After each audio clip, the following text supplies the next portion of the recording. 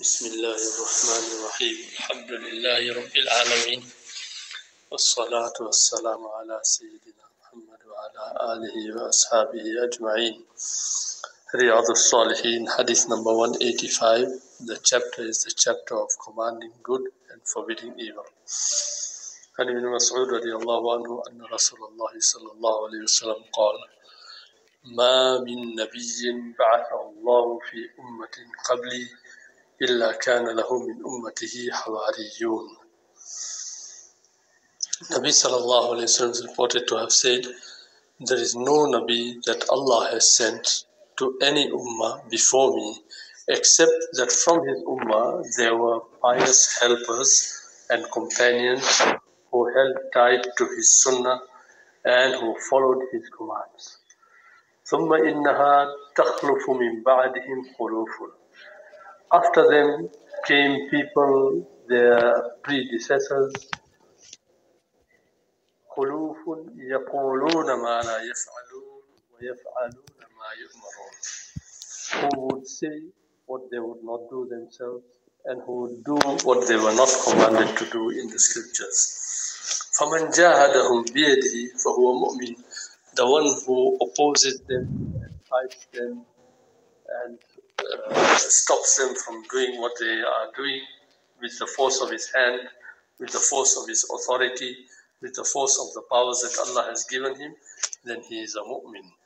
وَمَنْ جَاهَدَهُمْ بِقَلْبِهِ فَهُوَ مُؤْمِنٌ And the one who fights them with his heart, he sees what they are doing as bad. He makes dua for their hidayah. He makes dua for their evil plans to fail. He makes dua for the oppressors. Eh? In his heart, then he is a mu'min. وَمَنْ جَاهَدَهُمْ بِلِسَانِهِ فَهُوَ مُؤْمِنٌ And the one who speaks out against them, eh? and he opposes them with his tongue, then he is a mu'min. وليس وراء ذلك من الإيمان حبة خردل and apart from these three conditions where a person physically opposes or vocally and verbally opposes or in his heart he opposes apart from that there is not even a mustard seed worth of iman in any fourth condition apart from this Allahu Akbar so in this Mubarak hadith, we are told uh, to say every Nabi had his Sahaba, his Hawariyun, his pious helpers, uh, who followed his commands and who held tight to his Sunnah and who followed his commands. And then after the times of the Anbiya came the times of the bad predecessors who started saying what they do not do themselves. They would command people to do good. They would not do good themselves. They would prohibit people from evil, but they would indulge in evil themselves. And then they would do things which they were not commanded to do by Allah subhanahu wa ta'ala. So for such people, eh, if you physically oppose them, you are a mu'min. If you oppose them in your heart, you are a mu'min. If you oppose them with your tongue, you speak out against them, you are a mu'min. And if you are not in one of these three conditions, then according to this Mubarak hadith, such a person does not even have a mustard. Allahu Akbar. So this hadith talks about the need to command good and to forbid evil and to stand up against evil and to protect mankind and the ummah against evil when it is being uh, committed.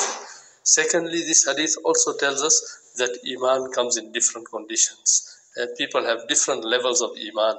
The way you have high voltage and low voltage in ZESCO, you have high iman and low iman.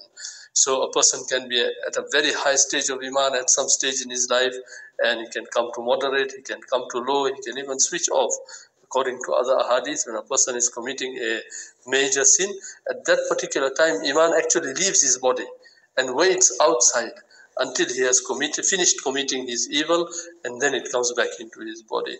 So, Iman is something that we need to look after. And Iman is something that we need to nurture, and we need to develop, and we need to strengthen.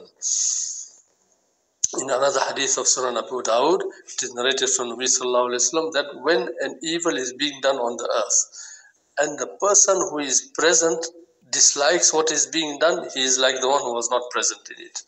And the person who was absent, but he agrees with what was being done, it is like the person who participated in the evil.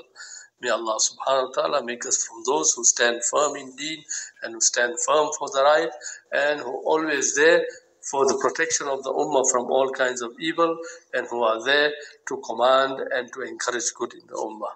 وآخر دعوانا أن الحمد لله رب العالمين والسلام عليكم ورحمة الله وبركاته